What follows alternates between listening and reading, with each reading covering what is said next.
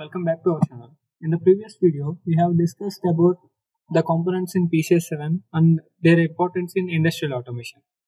In this current video, we will be discussing about plant bus and terminal bus concepts and what are the protocols we will be using in that plant bus and terminal bus. So let's get diving.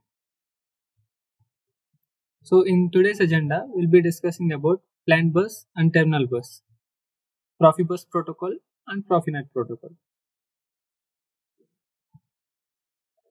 As you can see in the industrial automation architecture, there are two bus planes.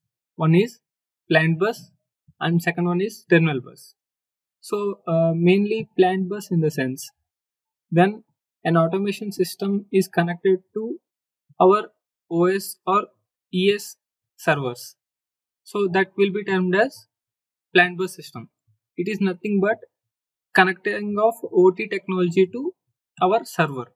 So this will be termed as plant bus.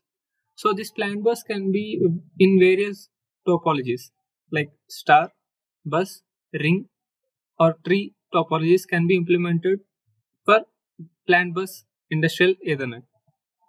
And when we are connecting from servers to OS clients or any reporting services, we will be termed it as terminal bus.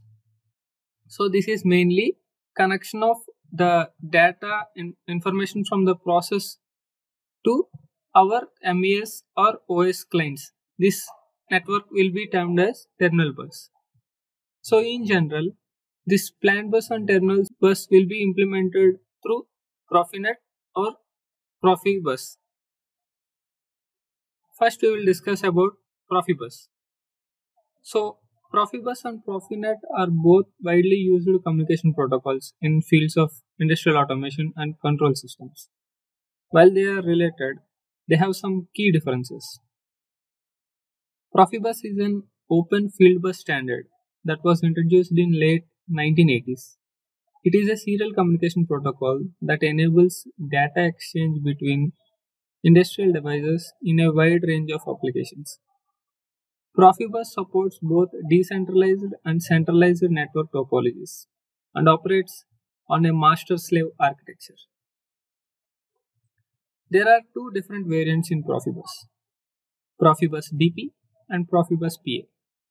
Profibus DP is termed as decentralized peripheries.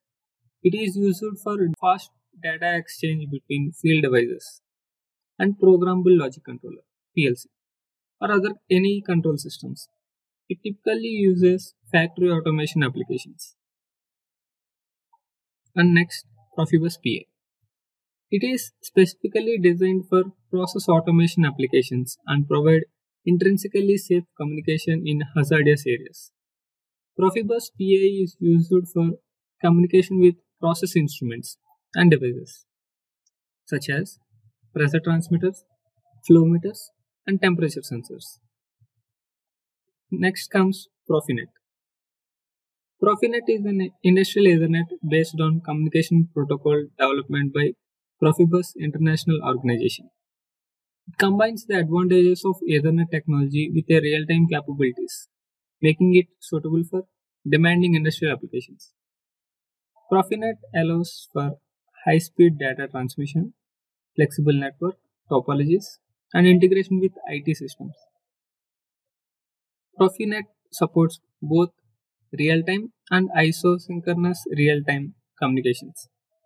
It enables the exchange of process data, diagnostic information, and configuration data between devices such as PLC, DCS, HMI, and other field devices. Compared to Profibus, Profinet offers high bandwidth, scalability, and the ability to integrate with standard and Ethernet infrastructure. It also provides enhanced diagnostics and advanced features for devices configuration and management. In summary, Profibus is field bus protocol and it has been widely used for industrial communication for several decades. Profinet, on the other hand, it is an industrial Ethernet based protocol that offers high performance and flexibility. Both pro- protocols have their significant areas of applications. and continue to use in various industries depending on requirement of automation systems. In the next slide, we'll be discussing the differences between Profibus and Profinet protocols.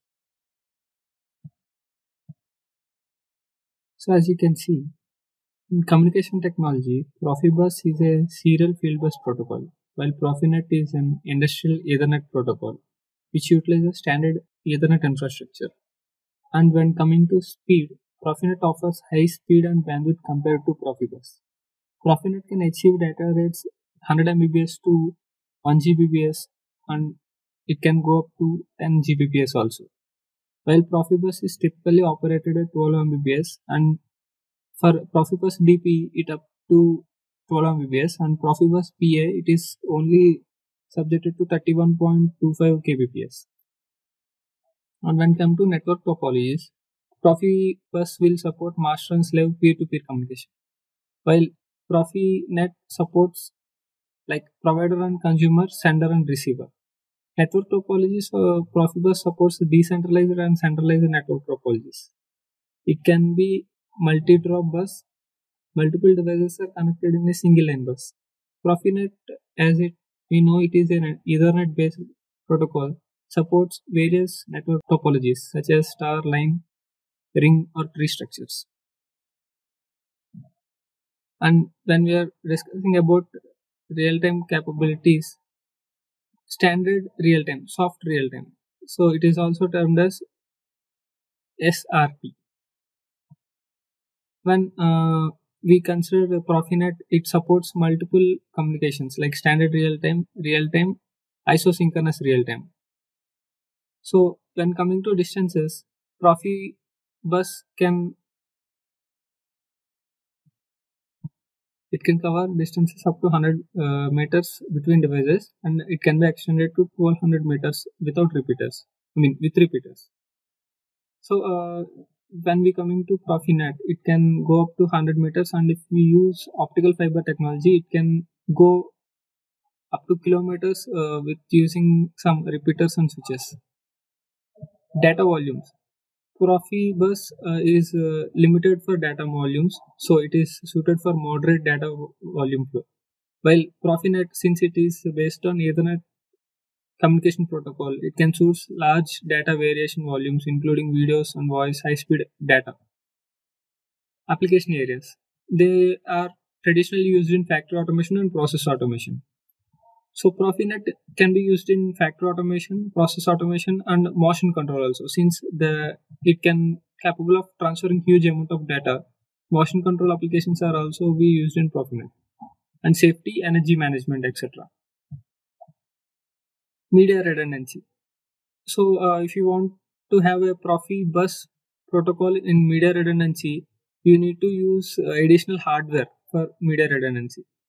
But in Profinet, since it is based on Ethernet protocol, media uh, MRP protocol is built in in this Profinet. So, if you want to integrate with uh, any IT equipment like systems and all, we should have separate uh, interface cards for uh, Profibus protocol. But when we are considering Profinet, since it is already in Ethernet, it is easy to connect to IT systems like computers and all. A number of devices we can be used is like around 126 when come to Profibus protocol per segment. And when you're comparing Profinet protocol, ideally on theoretical basis it will be unlimited, but in practical scenarios, if you implement, it can be um, subjected to 512 devices with IPs. Data consistency must be maintained at application level. Supports system-wide uh, data consistency through provider and consumer model. And uh, extension protocols were also derived from these two uh, protocols. So for safety and uh, drives, we use ProSafe or uh, ProDrive.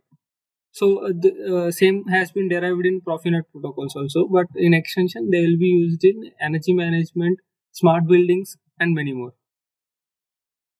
For commissioning, uh, we require specific tools to crimp that Profibus connectors and all.